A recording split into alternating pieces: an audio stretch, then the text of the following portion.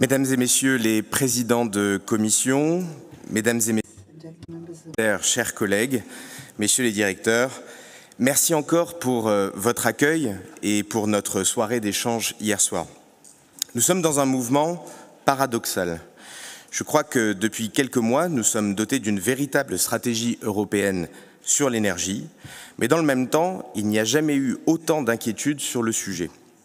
Chaque jour, nos concitoyens nous interpellent dans nos circonscriptions sur les prix de l'énergie et leurs inquiétudes vis-à-vis des perspectives énergétiques futures.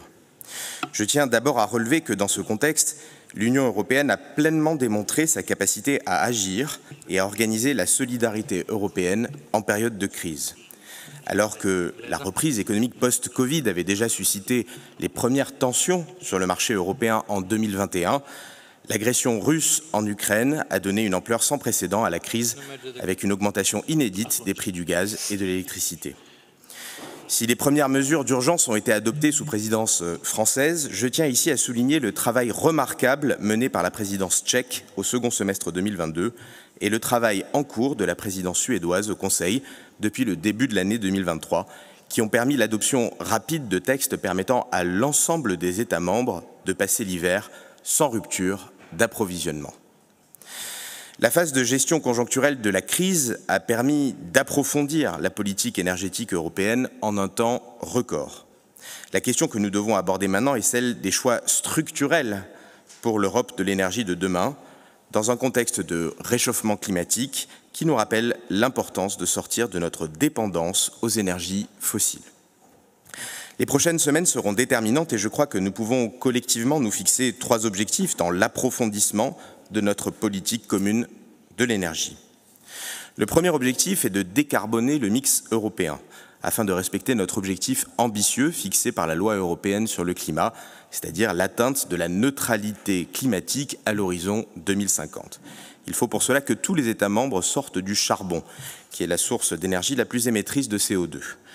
La recherche et le développement de solutions innovantes doivent nous permettre d'atteindre cet objectif et je me réjouis de pouvoir débattre de, ces sujets avec vous lors de la session 3 cet après-midi.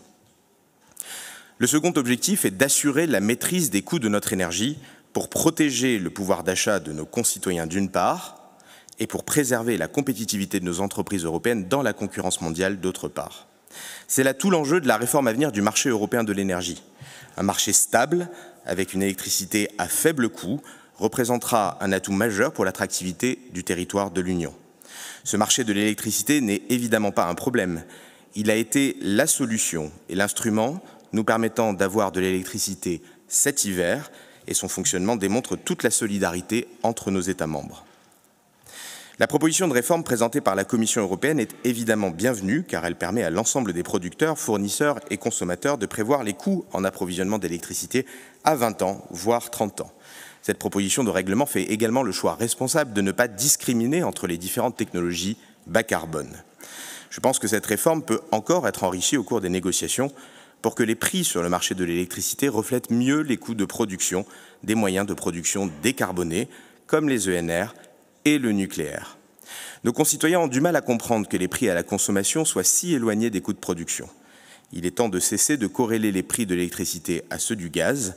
Ce mécanisme a d'ailleurs conduit plusieurs États membres, dont la France, mais aussi l'Union européenne, à chercher des solutions pour limiter l'envolée des coûts sur le marché européen au second semestre 2022. Toujours dans cet objectif de compétitivité de nos entreprises européennes et l'attractivité de l'Union européenne, notre réponse commune à l'Inflation Reduction Act américain doit aussi intégrer une dimension énergétique. La proposition de règlement européen industrie à zéro émission nette va à cet égard dans le bon sens, même si ce texte doit encore évoluer de manière à ne pas discriminer entre les différentes sources d'énergie bas carbone. Notre troisième objectif est l'indépendance de notre continent par la maîtrise de notre approvisionnement en énergie. Ensemble, nous pouvons libérer l'Union européenne de sa dépendance aux énergies fossiles. Cet objectif ne se fait pas du jour au lendemain et l'Union européenne doit prévoir une période de transition suffisante en tenant compte de la spécificité du mix des États membres. Il est donc logique que la Commission engage des discussions avec de multiples fournisseurs de gaz. Mais si la diversification des approvisionnements en gaz naturel est une nécessité, elle ne doit pas faire naître de nouvelles vulnérabilités. L'accord signé par la Commission avec Bakou à l'été 2022 ne doit pas avoir pour effet de substituer à la, à la dépendance au gaz russe une nouvelle dépendance au gaz azerbaïdjanais et renforcer un régime dictatorial. Nos dépendances énergétiques actuelles ne doivent pas nous jeter durablement dans les bras de régimes illibéraux et remettre en cause les valeurs qui forgent notre identité collective et font ce que nous sommes en tant qu'Européens. Pour atteindre ces trois objectifs, je suis convaincu que l'Europe de l'énergie de demain devra s'appuyer sur trois piliers dans sa stratégie. Le premier pilier est celui de la sobriété. Nous ne pouvons pas continuer à consommer notre énergie comme avant. La réduction de la dépendance des États membres aux hydrocarbures doit être notre priorité. Notre industrie et nos modes de vie en tant que citoyens doivent évoluer dans les années à venir. L'Union européenne fait en ce sens preuve de beaucoup d'efficacité avec le succès des mesures temporaires et coordonnées de réduction de la consommation de gaz et d'électricité durant l'hiver 2023. Je me réjouis également de l'accord trouvé le mois dernier entre les États membres et le Parlement européen sur un objectif de réduction de la consommation finale d'énergie de 11,7% d'ici à 2030. Le deuxième pilier est le déploiement massif d'énergie renouvelable, véritable pierre angulaire du paquet Repower EU. Des énergies propres, par nature inépuisables avec le solaire, l'hydraulique, l'éolien offshore, dont le déploiement doit être une de nos priorités communes. Là encore, si plusieurs États membres ont déjà déployé des plans nationaux, à l'image de la France qui a promulgué le mois dernier un texte de loi sur les énergies renouvelables, l'Union européenne joue un rôle de coordination et fixe un cap ambitieux, avec un accord trouvé en mars 2023, 42,5% de consommation d'énergie renouvelable de l'Union en 2030. Le troisième et dernier pilier est le nucléaire, comme énergie pilotable, décarbonée et à faible coût. Le nucléaire est indispensable au mix énergétique européen, car il permet de compenser l'intermittence des énergies renouvelables. Je crois que c'est dans ce domaine que l'Union européenne a la marge de progression la plus importante, puisque l'énergie nucléaire est traitée de façon très hétérogène selon les textes, parfois incluse, parfois exclue de la stratégie de la Commission. Pourtant, le nucléaire est en totale adéquation avec les objectifs affichés par notre Union, et c'est un outil indispensable pour les atteindre. L'atome est une source d'énergie bas carbone permettant d'atteindre nos objectifs climatiques. L'atome permet également d'atteindre des coûts abordables pour les ménages et pour les entreprises.